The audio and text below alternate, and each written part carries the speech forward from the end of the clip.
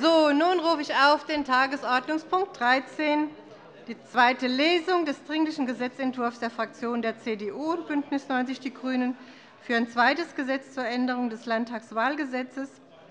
Berichterstatter ist hier der Abg. Frömmrich. Der wird aufgerufen, zusammen mit Top 75, dem Dringlichen Antrag der Fraktion der FDP betreffend zukünftige Einteilung der Wahlkreise. Der Gesetzentwurf hat die Drucksache 19-6530 zu 19-6451. Der Dringliche Antrag hat die Drucksache 19-6567. Die vereinbarte Redezeit beträgt fünf Minuten. Ich bitte den Berichterstatter um den Bericht. Vielen Dank. Vielen Dank, Frau Präsidentin. Beschlussempfehlung. Der Innenausschuss empfiehlt dem Plenum mit den Stimmen von CDU und BÜNDNIS 90 die GRÜNEN bei Enthaltung der SPD, der LINKEN und der FDP den Gesetzentwurf in zweiter Lesung unverändert anzunehmen. Vielen Dank, Herr Kollege Frömmrich, für die Berichterstattung. Die Redemeldung liegt mir jetzt vor von Kollegen Hahn, FDP. Bitte schön.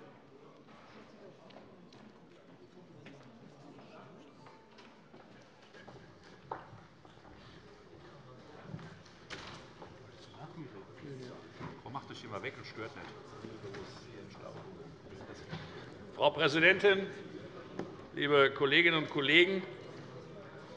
Die Geschichte der Arbeit, die rechtlichen Grundlagen für die Landtagswahl am 28. Oktober dieses Jahres verfassungsgemäß vorzubereiten, werden heute hoffentlich beendet. Sie begannen auf Seiten der Regierung und der sie tragenden Fraktionen mit der Bemerkung, wir wollen nichts ändern, nachdem Sie festgestellt haben, dass das höchst gefährlich ist, verfassungsrechtlich gefährlich ist, haben Sie bewiesen, die Regierung und die sie tragenden Fraktionen, wir können das aber nicht verfassungsgemäß. Und als dann der Staatsgerichtshof darüber verhandelt hat, hat man die in den letzten Tagen, Wochen, Monaten immer verstärkt erkennbare Art der Auseinandersetzung gewählt, dann beschimpfen wir wenigstens einmal den Professor der Gegenseite. Also, ich habe das jetzt einmal vielleicht in den Augen der Regierung und der sie tragenden Fraktion etwas polemisch zusammengefasst. Aber es war nicht falsch. Es war nichts daran falsch. Der Innenminister schreibt ein Schreibeschreiben, weist auf Probleme hin und sagt, ich will aber nichts ändern. Es war dann die FDP gewesen, die darauf hingewiesen hat, oh, oh, an dem und dem Punkt ist aber Verfassungswidrigkeit. Äh, es steht nicht auf der Stirn, das haben wir nie behauptet. Aber es ist gefährlich. Wir haben immer darauf hingewiesen, was wäre denn das für ein politischer Flop, wenn die AfD bei 4,9% liegt, die Wahl anfechtet und dann gesagt wird, weil ihr im Landtag so blöd seid, ein verfassungsmäßiges Gesetz zu machen, muss die Wahl wiederholt werden. So, dann haben Sie etwas vorgelegt. Jetzt kann man immer wieder sagen, das ist ja die nächste Art der Strategie der Auseinandersetzung. Die anderen sind die Blöden. Also hier waren es jetzt die Stadt Frankfurt, die die Blöden waren. Also, dass Sie selber mal irgendeinen Fehler machen, gibt es ja nicht. Bei Peter Beuth habe ich seit heute gelernt, gibt es überhaupt nicht. Das ist, äh, ich erinnere mich so ein bisschen, lieber Peter Beuth, und das nächste Mal habe ich die Rede dabei, wie Ihre Rede als Generalsekretär hier in diesem Hause bei der letzten Landtagswahl, vor der, äh, bei der letzten Plenarsitzung vor der letzten Landtagswahl, wo Sie in Generalsekretärsart als CDU-Generalsekretär die GRÜNEN verprügelt haben. Das hat sich jetzt alles geändert. Ich werde das nächste Mal mit Freude daraus zitieren, damit man deutlich macht, so wirklich haben Sie sich ja nicht geändert. Das Einzige, was sich geändert hat, Sie beschimpfen jetzt die FDP. Okay, das ist irgendwie, das ist irgendwie, ist irgendwie für Sie als Typ schlüssig, aber für die Politik unschlüssig. Und, und lieber Herr Bellino, ich kann ja vieles verstehen, aber dass man, dass man in einer Sitzung vor dem Staatsgerichtshof und dann auch noch einmal in einer Anhörung im Hessischen Landtag einen Gast beschimpft, das macht man nicht. Das ist stillos, leider derzeit auch typisch für Ihr Verhalten. Ich kann lesen. Ich kann lesen. Herr Bellino, ich kann lesen. Das Protokoll gibt es, und da steht das drin. Sagen Sie mal, sagen Sie mal, sind Sie eigentlich irgendwie in der Art, etwas aufnehmen zu wollen, oder können Sie nicht? Ich habe gesagt, ich habe die Protokolle nachgelesen. Und da haben Sie sich in beiden Dingen einfach vergriffen. Man greift einen Gast im Innenausschuss des Hessischen Landtages nicht an. Das macht man einfach nicht. Das ist stillos. Das ist respektlos. Hören Sie doch auf mit Ihren blöden Kampagnen, die Sie machen. Hören Sie doch einfach damit auf. So, jetzt aber ist offensichtlich, jetzt aber ist offensichtlich, wo ist der Schalter, Holger, bei dir? Jetzt ist der Gesetzentwurf offensichtlich verfassungsgemäß. Ich bedanke mich auch beim Prof. Will. Wir haben es nicht gefunden. Keiner hat es gefunden, dass zwei Stadtteile in Frankfurt bisher im Landtagswahlgesetz überhaupt nicht berücksichtigt worden sind. Jetzt kann man sagen, äh, der Flughafen ist kein Stadtteil. Alle wissen, das ist falsch. Aber das kann man ja vielleicht noch sagen. Aber dass der Frankfurter Berg kein Stadtteil ist und bisher nicht im Landtagswahlgesetz vorhanden gewesen ist, das dürfte eigentlich keine passieren, und schon einmal gar nicht der Aufsicht im Innenministerium, Herr Minister. Jetzt lassen Sie mich ein Letztes sagen. Meine Redezeit neigt sich dem Ende, und der Wunsch, mit den Menschen draußen vernünftig zu reden, wird immer größer. Wir wollen mit unserem Begleitantrag sicherstellen, wir wollen sicherstellen, dass die Frage der Begrenzung wie weit darf ein Wahlbezirk abweichen bei seinen stimmberechtigten Mitgliedern, sage ich es einmal, von der Regel auf 15% reduziert wird? Wir haben derzeit 25% Dagegen wurde ja verstoßen. Ich weiß, die Stadt Frankfurt war daran schuld, nicht der Innenminister. Aber jedenfalls wurde dagegen verstoßen. Das wird jetzt repariert. Und wir hoffen, dass wir mit unserem Antrag und Ihrer Unterstützung der Arbeitsgruppe für die 20. Legislaturperiode schon einmal einen Arbeitsauftrag erteilen, nämlich davon ausgehen, dass 15% demokratisch gerechtfertigt ist und nicht mehr. Vielen herzlichen Dank.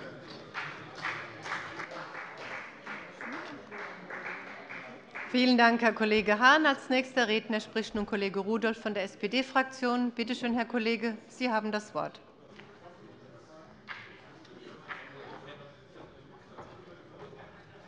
Frau Präsidentin, meine sehr verehrten Damen und Herren! Heute oder möglicherweise am Donnerstag, das wird man dann sehen, ähm, werden wir den äh, Prozess der Wahlkreisreform beenden für diese Wahlperiode.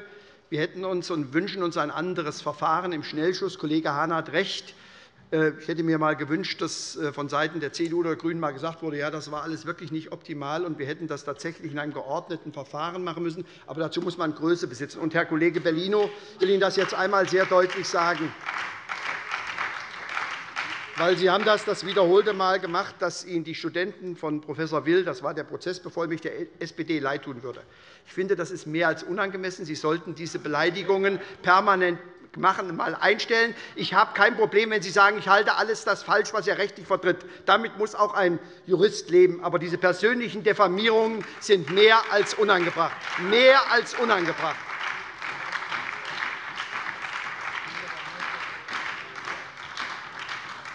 weil in der Tat unser Prozessbevollmächtiger einige Sachen herausbekommen hat. Von den Zahlen Jetzt können Sie sagen, Petitesse Frankfurter Berg seit 20 Jahren nicht berücksichtigt. Ha, ha, ha. Das darf natürlich nicht passieren, weil natürlich liegen Fehler der Stadt Frankfurt vor. Aber der Gesetzgeber sind wir. Das Innenministerium hat natürlich auch eine Überprüfungspflicht. Und der Innenminister hat sich ohnehin bei der ganzen Angelegenheit mit Ruhm nicht bekleckert. Und deswegen, meine sehr verehrten Damen und Herren, war es erst die Klage der SPD-Fraktion vor dem Staatsgerichtshof, die den Urteilsspruch möglich gemacht hat. Ich erinnere mich noch bei der Verabschiedung im Dezember. Ja, ja, noch stärker. Sie haben völlig recht, Herr Kollege Hahn. Ich weiß noch die Worte des Kollegen Bellino hier im Dezember.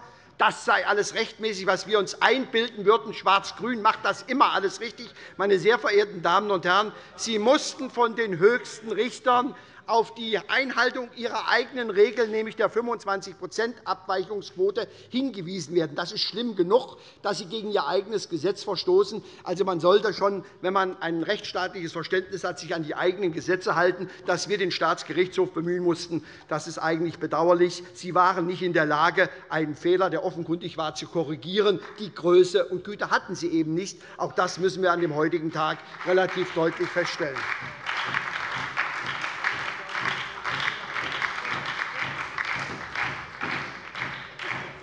Nun gibt es einen Wahlvorschlag heute, den Wahlkreis. Ja und? Was wollen Sie mir damit sagen, Herr Boddenberg? Was wollen Sie mir damit, was wollen Sie mir damit sagen?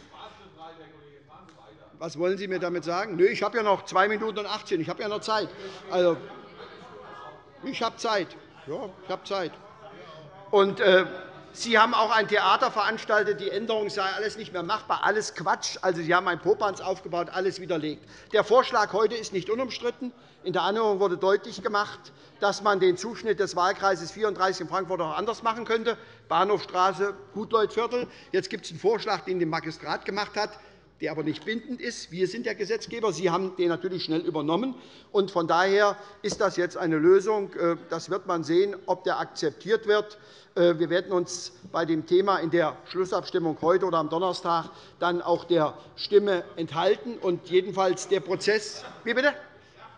Der Prozess. Na ja, wissen Sie, ich finde, das ist alles keine Ruhmestat, wie die Wahlkreisreform passiert ist. Und da würde Ihnen das Wort Demut eher zumute stehen. Deswegen, meine Damen und Herren, ja, ich weiß, kennen Sie nicht. Entschuldigung, nein, meine Damen und Herren, war mein Fehler. Das Wort Demut ist kein Wortschatz der CDU. Ich ziehe es hiermit zurück. Zu dem Dringlichen Antrag der FDP.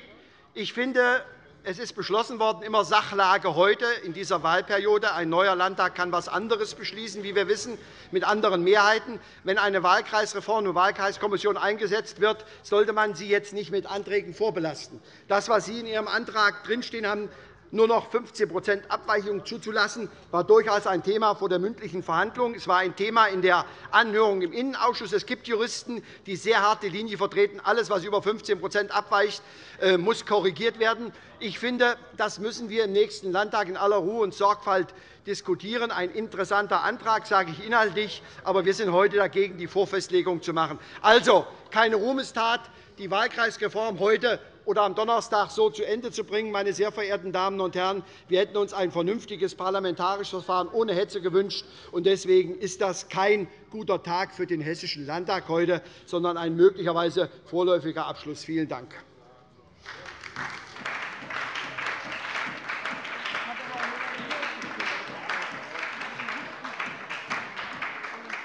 Danke, Herr Kollege Rudolph. Als nächster Redner spricht nun Kollege Dr. Wilken von der Fraktion DIE LINKE. Bitte schön, Herr Kollege, Sie haben das Wort.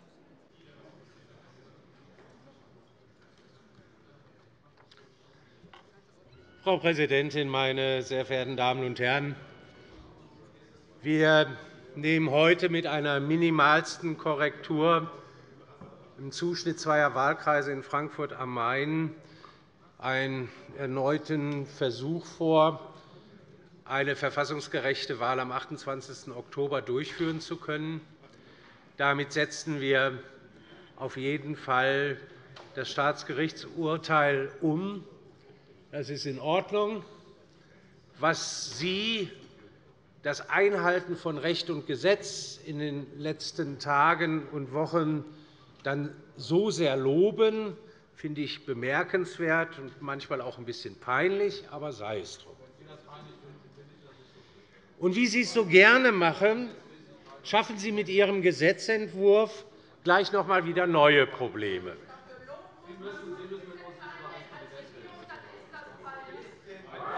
Meine Damen und Herren, ich wollte eigentlich ganz schnell unsere Position Ihnen mitteilen. Bei mir geht es wie Ihnen. Ich habe jetzt auch Durst, also lassen Sie mich doch einfach zu Ende reden. Und wie so gerne schaffen Sie mit diesem Gesetzentwurf gleich wieder neue Probleme. Nämlich, Sie nehmen eine Zuordnung vergessener Stadtteile Frankfurt am Main zu Wahlkreisen vor, ohne dass Sie das ausreichend begründen. Das sage ich, ist zumindest einmal nachbesserungsbedürftig. Dritte Bemerkung zu dem FDP-Antrag. Na ja, das müssen wir nächste Legislaturperiode regeln. Wir sind auch der Auffassung, dass das, was Sie da aufgeschrieben haben, wir in der nächsten Legislaturperiode beachten müssen. Ich weise aber ausdrücklich darauf hin, das ist bei weitem nicht alles, was wir beachten müssen in der nächsten Legislaturperiode, um zu einem deutlich besseren Wahlgesetz in Hessen zu kommen. Wir werden uns wegen der offenkundigen Mängel im zweiten Teil Ihres Gesetzentwurfs enthalten. Aber ich hoffe, dass wir dann am Ende dieser Woche unsere Wahlkreisaufstellungen in Frankfurt am Main erneut machen können und wir dann endlich Janine Wissler als Direktkandidatin wählen können. Danke.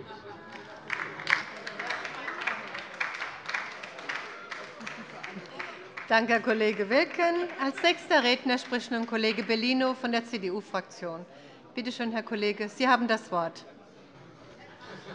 Frau Präsidentin, meine sehr geehrten Damen und Herren! Wenn man die Wortbeiträge der FDP und der SPD insbesondere zu diesem Punkt reflektiert, dann muss man feststellen, dass äh, Ihnen tatsächlich die Luft auszugehen scheint.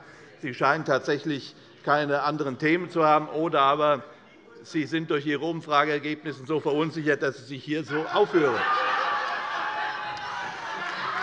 Dass Sie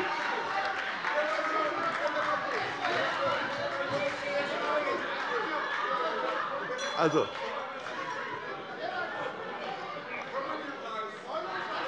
also, also, mein Gott.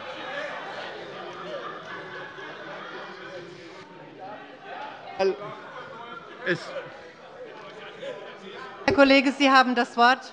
Es gab, mal neben der, der CDU noch eine weitere ernstzunehmende Volkspartei. Aber davon ist nicht mehr viel zu sehen.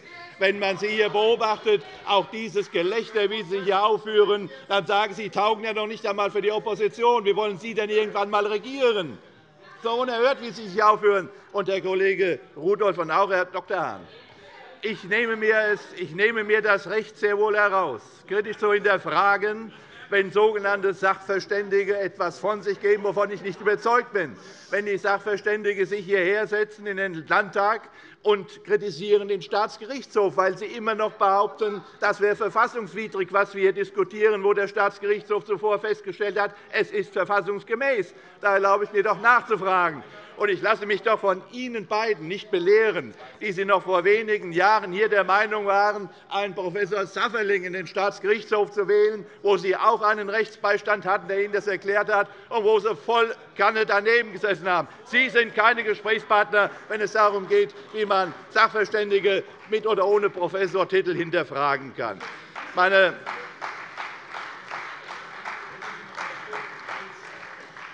Sehr geehrte Damen und Herren, jetzt wirft Herr Kollege Rudolph uns auch noch vor, dem Minister vor, er habe zu schnell gehandelt. Wir haben immer reagiert. Wir waren in der Tat zunächst der Meinung, dass man mit dieser Wahlkreisordnung noch leben kann. Wir waren der Meinung, dass man damit noch leben kann. Aber wir haben offen damals das kommuniziert, dass es Abweichungen gibt. Dann gab es Bedenken der FDP. Wir haben diese Bedenken aufgenommen haben dann einen anderen Vorschlag gemacht, wurde auch kritisiert. Dann gab es die Klage Staatsgerichtshof. Die SPD hat zu zwei Drittel verloren und hat in einem Punkt Recht bekommen. Aber in der Summe haben sie auch verloren mit ihrem tollen Rechtsbeistand. Jetzt reagieren, wir, jetzt reagieren wir sehr schnell darauf, um das Problem zu lösen. Dann macht Frankfurt einen Vorschlag, der hoffentlich tragfähig ist. Dann setzt der Minister das schnell um, und jetzt wird er dafür noch kritisiert, dass er schnell reagiert. Ja, sagen Sie einmal, wo leben Sie denn? Wollen Sie den Wahltermin verschieben, oder wollen Sie die Wahl an die Wand fahren?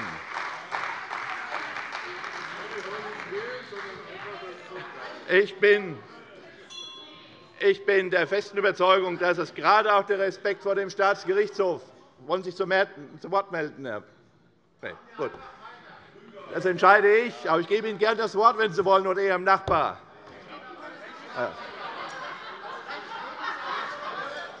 Es, es, würde, es, würde, es würde dem Herr Kollege, Sie haben das Wort. Bitte.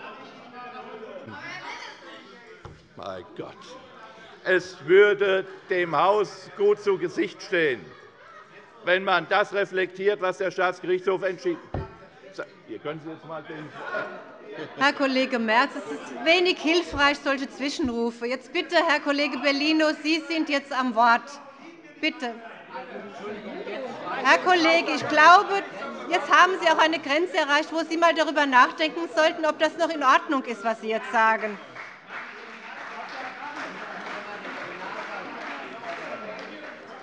Ich möchte, dass dieser Abend noch ruhig zu Ende geht mit einem guten Beschluss und deshalb setzen wir jetzt die Sitzung fort, und das bitte geordnet. Bitte, Herr Kollege Bellino, Sie haben das Wort. auf, schauen in den Spiegel und haben schlechte Laune. Kann ich verstehen, aber daran möchte ich nicht teilhaben.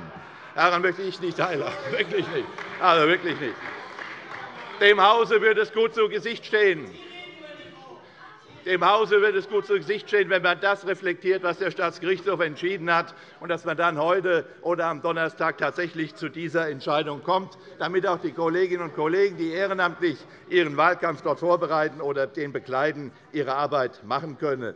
Deshalb an dieser Stelle der Appell, wenn Sie sich auch hier schon so aufführen, aber kommen Sie wenigstens bei der Abstimmung respektvoll gegenüber dem Staatsgerichtshof zu dem Ergebnis, dass man dem folgt. Ein letztes Wort noch zu der oft hier angesprochenen 15 oder 25% regel Bitte darüber nachzudenken, zu was das auch führen kann, wenn wir uns in der nächsten Legislaturperiode damit befassen. Das kann dazu führen, dass der sogenannte Ballungsraum, der Speckgürtel, weitaus überrepräsentiert ist und dass in Nordhessen, vielleicht auch in Teilen von Osthessen, Wahlkreise immer größer werden in der Fläche, was auch dazu führt, dass diese Regionen Hessens dann noch weniger repräsentiert sein werden in einem Landtag, als das heute der Fall ist. Das müssen wir auch bedenken, wenn wir so vollmundig sagen, wir wollen 15 Meine sehr geehrten Damen und Herren,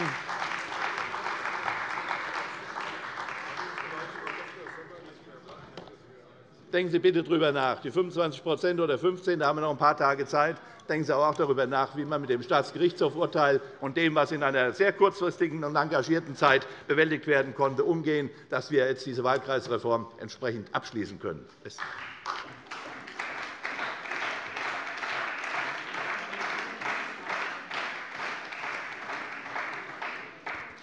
Danke, Herr Kollege Bellino. Als nächster Redner spricht nun Kollege Frömmrich von BÜNDNIS 90 die GRÜNEN. Bitte schön, Herr Kollege, Sie haben das Wort.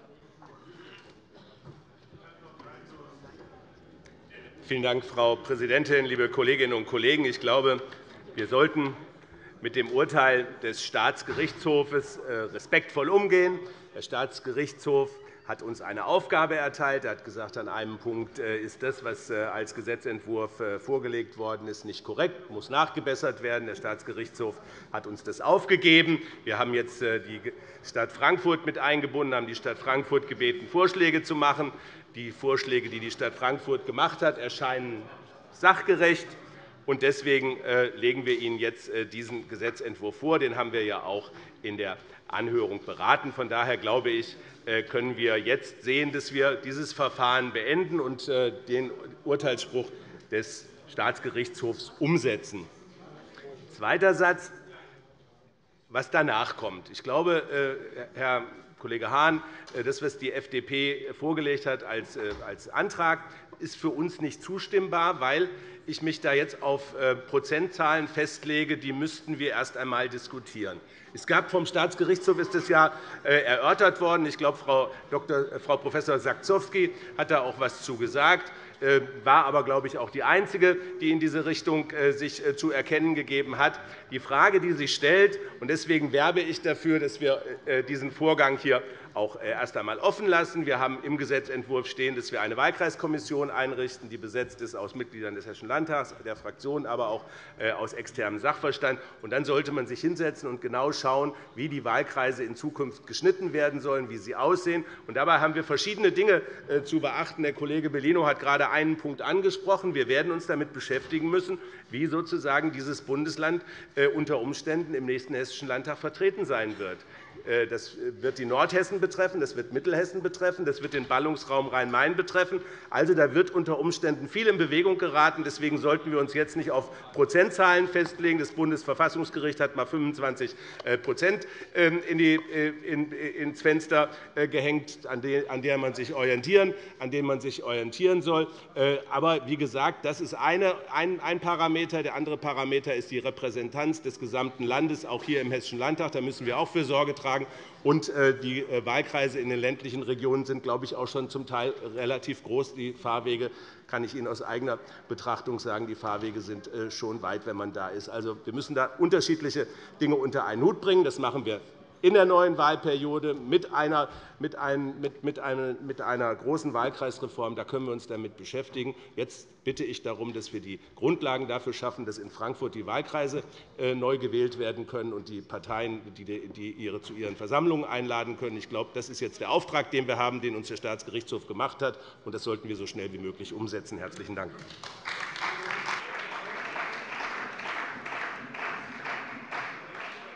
Vielen Dank, Herr Kollege Frömmrich. Für die Landesregierung spricht nun Staatsminister Beuth. Bitte schön, Herr Minister. Frau Präsidentin, meine sehr geehrten Damen und Herren! Wir haben mit dem ähm, Gesetzentwurf äh, zur Änderung des Landeswahlgesetzes die Vorgaben des Staatsgerichtshofs vollumfänglich erfüllt, die entsprechende Anpassungen in den Wahlkreisen 34 und 37 vorgenommen. Mit äh, der Verlagerung des Ortsteils Schwanheim haben wir den Rechenfehler, den die Stadt Frankfurt äh, gemacht hat, entsprechend korrigiert im Wahlgesetz. Wir haben ähm, im Dezember ein Landeswahlgesetz hier beschlossen, was äh, in den wesentlichen Teilen, nein, was, im, was in, den, in allen Teilen bis auf einen Rechenfehler, den wir nicht zu verantworten haben, verfassungsgemäß war.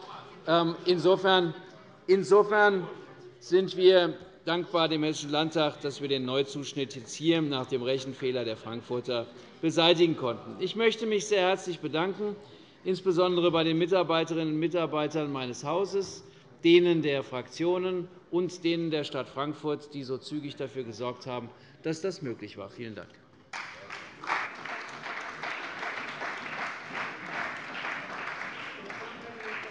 Vielen Dank, Herr Staatsminister Beuth. Es hat sich noch der Kollege Rudolph von der SPD erneut zu Wort gemeldet. Bitte schön, Herr Kollege, Sie haben das Wort.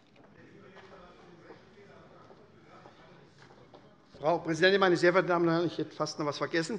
Ähm, Herr Innenminister, das passt so ein bisschen ins Bild. Fehler machen grundsätzlich nur andere. Entschuldigung, Fehler machen grundsätzlich bei Ihnen immer nur andere. Weil das ist bei Ihnen so ein bisschen das Grundproblem. Weil Sie haben den Gesetzentwurf für die Koalitionsfraktion unstrittigerweise geschrieben. Wenn, na ja, Sie sind Abgeordneter aus Frankfurt. Wahlamt untersteht einem CDU-Dezernenten. Äh, in Frankfurt mit den Rechenkünsten äh, wissen wir ja, äh, Briefwahl, Briefwahl Doppelunterlagen. Wie bitte? Bitte nicht von der Ministerbank dazwischenrufen. Bitte. Herr, ja. Kollege Rudolph, Herr Kollege Rudolph, Sie haben das Wort. Danke, Frau Präsidentin. Trotzdem hat er die Wahl mit 70% im zweiten Wahlgang gewonnen, der Kollege Feldmann. Insofern können Sie erzählen, was Sie wollen. Der Minister will, glaube sagen. Ich habe Zeit. Also, meine sehr verehrten haben festgestellt, alles richtig gemacht. Kollege Frömmrich hat eben davon geredet, man müsse eine Korrektur machen. Das ist schlichtweg falsch.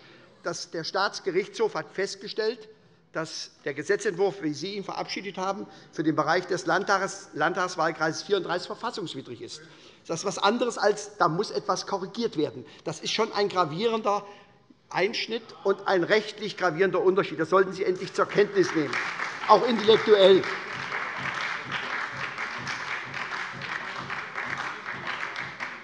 Und statt uns dafür zu loben, dass wir den Mut hatten, zu klagen, werden wir vom Herrn Bellino noch beschimpft, weil wir wollen, dass die Landtagswahl am 28. Oktober rechtssicher durchgeführt wird. Rechtssicher durchgeführt wird. Ich unterstelle einmal, dass das alle fünf Fraktionen in diesem Hause wollen. Und, Herr Kollege Bellino, das fand ich dann, bin Sie haben recht, Sie haben das messerscharf erkannt, hätte ich Ihnen sogar, aber nee, wirklich, also messerscharf erkannt. Wir wollen, wir wollen die Wahl gewinnen, wie Sie auch. Ich wäre auch nicht so vermessen wie der Berlino zu sagen, dass das bei Ihnen im Moment so alles top und optimal läuft. Da wäre ich ein bisschen vorsichtiger, weil möglicherweise haben wir alle etwas davon, wenn CDU und CSU, weil eine bayerische Provinzpartei meint, mal gerade die Republik zerlegen zu wollen. Meine sehr verehrten Damen und Herren, da haben wir alle etwas davon. Insofern Insofern wollen wir diese Landtagswahl rechtssicher durchführen, und dann entscheidet am Schluss der Souverän. Und wir wollen natürlich auch über die hessischen Themen wie Mobilität, wie fehlender Wohnraum bezahlbar, wie Infrastruktur mit Staus. Darüber wollen wir doch reden. Sie möglicherweise nicht so, wir schon. So, meine Damen und Herren. Zweitens zur Wahlkreisreform in der nächsten Wahlperiode. Ja, Herr Kollege Bellino, Sie haben völlig recht, Herr Frömmrich. Wir haben darauf hingewiesen, dass die Abweichungen enorm sind. Das heißt für den ländlichen Raum möglicherweise besondere Herausforderungen. Ja, das heißt es übrigens auch dann, wie werden die Abgeordneten ausgestattet? Was heißt das? Wir haben Unterschiede zwischen Land und äh, der Stadt von den Belastungen her. Das muss man alles dann auch mitdiskutieren. Und das kann man in Ruhe machen, und das wird man dann sehen. Diese 15% sind nicht nur aus der Hüfte geschossen, sie sind in der Rechtsprechung und auch bei versierten Juristen durchaus auch ein Thema. Dass das für uns schwerer wird, Wahlkreise nachher zusammenzufügen, ist eine ganz andere Geschichte. Was dann auch noch schöner wäre, wenn wir belastbare aktuelle Zahlen hätten. Weil das merken wir gerade im Ballungsraum, haben wir gravierende Verschiebungen. Das, was in Frankfurt stattfindet, ist nicht in Ordnung. Sechs Wahlkreise in Frankfurt zur Landtagswahl, zwei in Wiesbaden und nur zwei in der Bergstraße da stimmen die Proportionen nicht. Deswegen war das Verfahren nicht in Ordnung. und Deswegen kann heute dann aus unserer Sicht diese Minimallösung entschieden werden. Zufriedenstellend ist das Ganze nicht. Dass Sie das auch einmal eingestehen würden, die Größe haben Sie tatsächlich nicht. Dann lassen Sie es halt. Vielen Dank.